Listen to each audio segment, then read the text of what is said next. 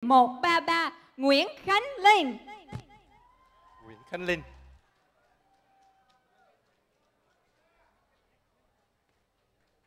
Khánh Linh đến với chương trình ngày hôm nay qua nhạc phẩm nào? Dạ, lời đầu tiên em xin gửi lời chào đến ban giám khảo, tất cả quý vị khán giả trong uh, gián phòng Ocean Palace và đồng thời tất cả quý vị đang theo dõi trực tiếp truyền hình VTV ở nhà. Lời chào trân trọng nhất.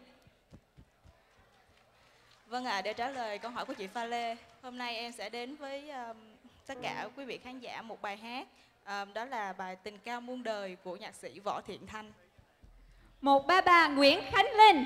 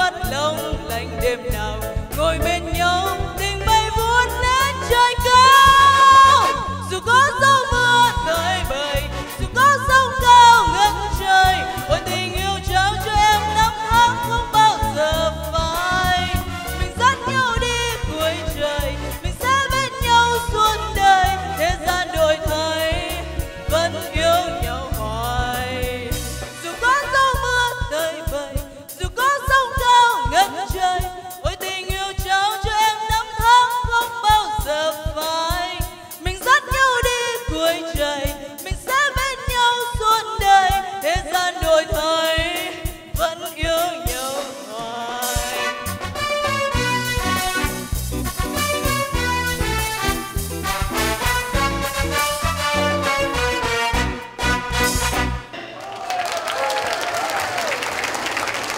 một ba ba nguyễn khánh linh.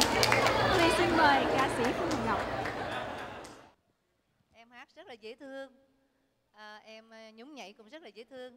Tuy nhiên có lẽ là bài hát này là em à, lựa cái tông hơi cao, thành ra có những nốt em lên không tới. Nếu bài hát này em hát thấp xuống một tông thì rất là hay. Đó là ý kiến của chị Ngọc. cảm ơn ạ. Và nhạc sĩ và nhạc sĩ Hoàng Tuấn.